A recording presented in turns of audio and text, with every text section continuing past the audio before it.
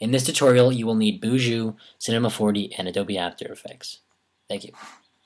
Hey, what up guys, Ryan, Maniac V2, and I have the uh, 3D motion tracking tutorial on uh, 3D text on a real life video, or any video of that matter. Um, so what you're going to do first is, um, we're going to head on straight into this tutorial. Um, what we're going to be looking at is something like this um, today. Uh, you're going to be learning how to do this. It can be on a COD clip, a real life clip, but anyways, I did mine on a real life clip, and it looks pretty good, if you see here. Um, looks pretty damn tracked. So, anyways, um, what you're going to do is just make sure you import your sequence, um, make sure you have the size, just import your, uh, your video into After Effects, and this is the crucial part, this is the most crucial part of the whole tutorial. So, anyways, load up your clip, and then, uh, you know, just load it up like that, and then hit Composition, Add to Render Queue.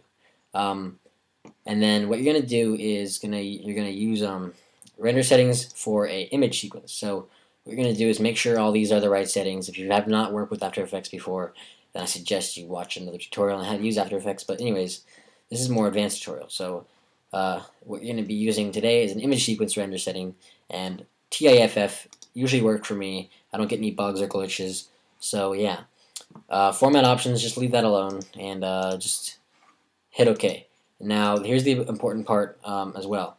You're going to want to create a new folder just for this render because there's going to be about thousand or so frames um, depending on how long your video is. 30 seconds is about 1500, 1500 frames depending on your frames per second rate and also your video length. My video is 30 frames per second, so that's what we're to, uh, that's about 1400 frames for my video because it's about 28 seconds.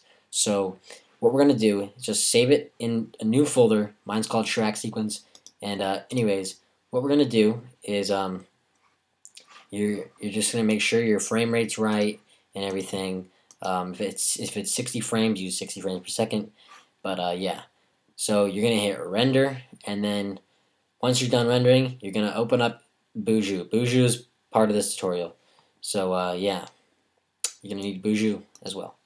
So what you're going to do now is you're, I know this is a different video than I just used, um, but I couldn't find the Boujou file for the, the street video, so I'm just going to show you what to do in this. But anyways, what we're going to do now is we're going to go to Setup, Import Sequence, and then you're going to find your sequence in here. Alright. You're going to find your sequence in here. So Setup, Import Sequence, and you're going to find the image sequence you just saved. So Really, I'm just going to go look for it in the uh, movies section, not the Call of Duty 4. Um, so movies, mine's in the street folder, and it's a street sequence. So all you're going to do is click open, and then um, just click on the first frame and click open. Now it should be calculating your your uh, frames. It should be calculating to the end from step one all the way to end frame. And yeah, if it doesn't do that right, then you didn't import it right. So then you're going to choose your frame rate in the frame rate section right here. Choose I, I choose 29.97 and I hit apply. Now you see it might glitch back to 25. Yes, it did. So hit 29.97 and apply again.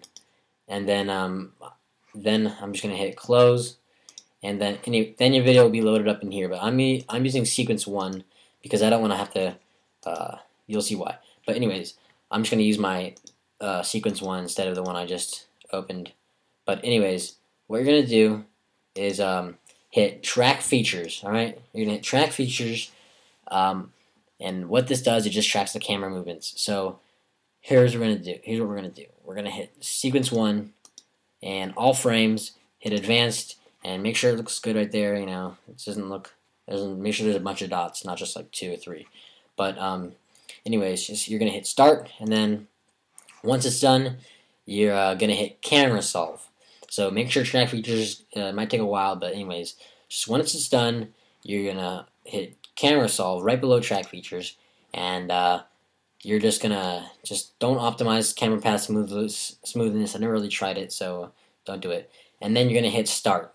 All right and usually it starts on 0.00%, and then it gets faster and faster until it starts jumping by like 5%. But it'll, yeah, it'll start on like 0.001, 0.03, 0.8, then it'll start jumping up like that. So, anyways, once that's done, once that's done, you're going to go to Setup, or not Setup, you're going to go to Export, right here, Export, and you're going to export the camera solve, alright? And then make sure your end is the right frame, and your step starts at 1. Um, so, you're just going to um, make sure that it says sequence 1, it's a camera solve 1, and uh, Cinema 4D, because we're going to be working with Cinema 4D today. So, um, then you're going to make it say moving camera and static scene. So, what we're going to do is change the scale scene by 100. This just makes it um, better for Sim 4D. I've had bugs with uh, scale by 1, so we're just going to have it scale by 100. And then we're going to save it, and uh, make sure you remember what you scaled it by.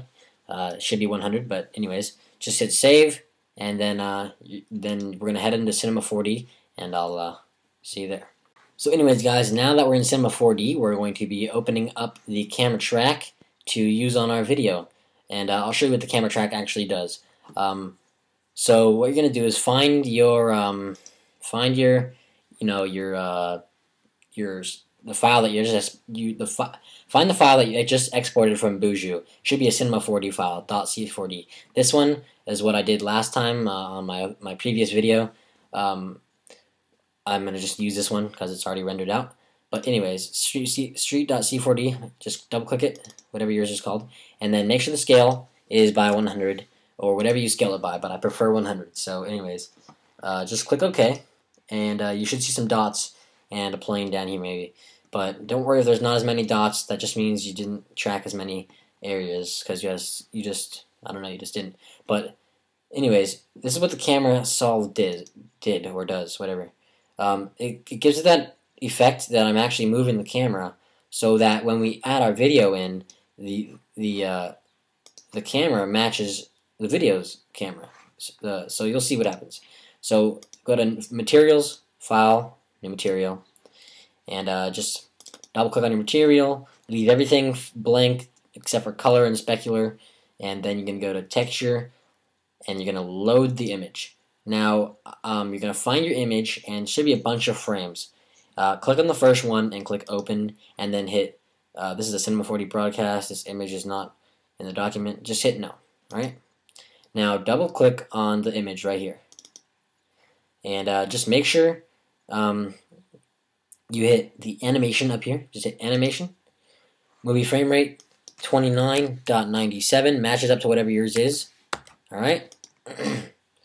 and then you're going to hit calculate. And uh, see it goes back to 30. Um, there's really nothing we can do about that. It just it'll jump to the nearest whole number. So just leave it at if it's yours is if yours is 59.94, just it'll go to 60. So just don't worry about that. And it should be it should calculate from one to your last frame. So then just click X up here. And um, now what we're going to do is create a background. So to put the video on, so go to this light button right here, hold on it, hold down, and uh, drag your mouse over to background, and then drag your material up to the background. And now we see our camera movement matches that of the camera in my video. So watch what happens. First of all, what we're going to do is place a plane. Okay? and then without doing anything, don't touch anything, don't make it bigger, nothing, alright? Put a MoGraph and a MoText, or whatever object you're putting, alright? Whatever object you want to track. So, these are very important. The plane and the text, don't move them. So, now what you're going to do with the plane and the text is highlight both of them, and then get the uh, enlarge or the scale tool, and scale them up as, as big as you want it, or small, whatever. But uh, scale it up. I'm going to scale it up about this big just for the purposes of this video. And uh, the plane is kind of off of my text, so I'm going to move it under, directly under my text. And now what you can do to the plane by itself is go to the scale tool and uh, scale the plane up just a bit like that. Alright? Now, what you want to do is align the plane and the text together, highlight both of them, alright, and line them both together with the street. So I'm going to make it look like look like it's on the street, kind of like an illusion, all right? So, anyways, just make sure it looks kind of like it's on the street, and um, I think that looks pretty good. So what I'm going to do is I'm just going to make these a bit smaller, like that, and I'm going to move them both over a little bit. And uh, that looks like it's pretty much on the street, maybe a little bit more tilt, uh, just like that. And uh, anyways, then you go to your MoText, and since we the scale was 100, everything um, is smaller. So what we have to do is just turn that up to about 500, and you're good. Turn the depth on your MoText up to about 500. So um, now that we have that, uh, what you're going to do is see, go click on the background and go to the material and hold Control. While you're holding Control, click on that and click on the material and drag it up to the plane. And uh, as you see, this gives the material of the background to the plane. So the plane kind of camouflages in. But when we render it out, it's all dark still. So what we're going to do is click on the plane and click on its texture. And we're going to go to um, Tags. Um, Alright, sorry. Click, just click on the plane and go to Tags, Cinema 4D Tags, and Compositing. Alright? Now, still, it's still kind of, you know, dark. So what we're going to do is go to Plane, click on the Compositing tag right here, and click Compositing Background. And now the plane is blending in with the ground. And now we want to create shadows. So what we're going to be doing is just lift the text up a tiny bit, and then go to your render settings up here, and go to Effect, and you're going to hit Ambient Occlusion. Alright? Now what this does is it gives a little bit sh more shading and, and uh, shadow. Uh, as you see, it's not really that good uh, right now, but uh, it will be in a second when we mess with the lights and stuff. So anyways, just uh, have your text right on the plane, and uh, you'll see what happens. So anyways, now we're going to go back to ambient occlusion and mess with the shading. So go to your render settings and go to ambient occlusion again and turn the maximum ray length up to about 160 and turn the contrast up to about 40.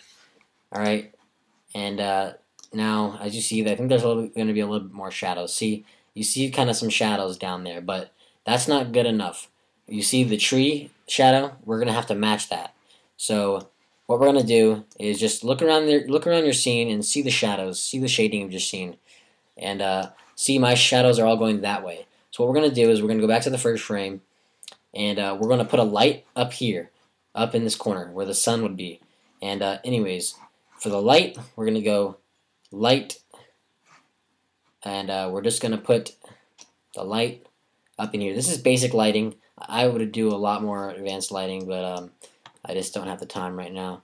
So uh, the light's going to go up here, and uh, you can mess with the coordinates. Uh, yeah, Y up a little bit. And then you're going to go to sh shadow on the light and hit shadow map soft. And now you're going to turn the density down to about 85 and uh, the resolution maybe 200. Alright, now what this does is it gives um, off a shadow in the back. And uh, we can always create a new material for our text as well too. So uh, we can change the color to white so it's not as uh, gloomy or uh, shady looking. And uh, now we have sort of a white texture and uh, as we go through the video you'll see the text is perfectly tracked to the video and when we're up close with it too you can see the shading and the shadows that are on the ground. And now I mean, these shadows look pretty dang good compared to those.